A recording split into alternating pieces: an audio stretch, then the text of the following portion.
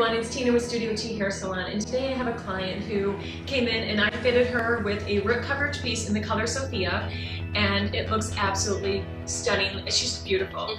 And so before that she was wearing this synthetic piece um, right here that she got online. Um, can you tell me how did this piece feel on you? Um, it felt okay at first. Um, it only would go certain ways it has kind of like a mind of its own where it looked a little boxy, it didn't lay right.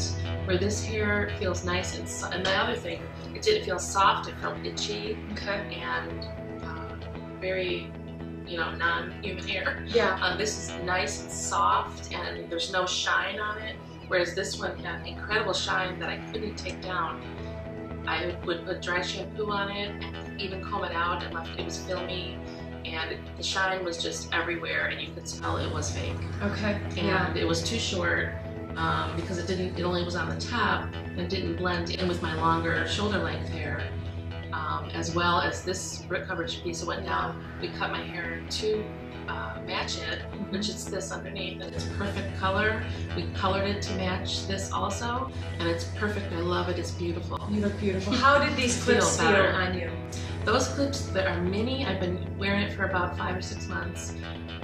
They they were so small, it felt like um, it was pulling on the hair with the metal edges and digging into my scalp.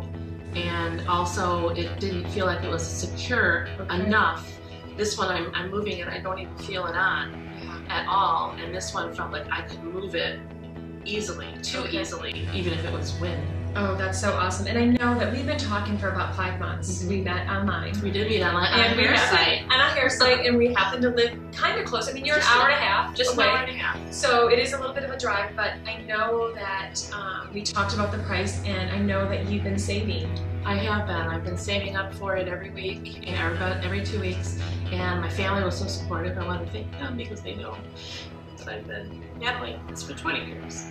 And um, they put help me in Christmas time with uh, money towards it, so that really helped. And I want to thank you. That's awesome. So you guys, I want you to know that there are solutions, and you look beautiful. Thank you. Thanks for watching.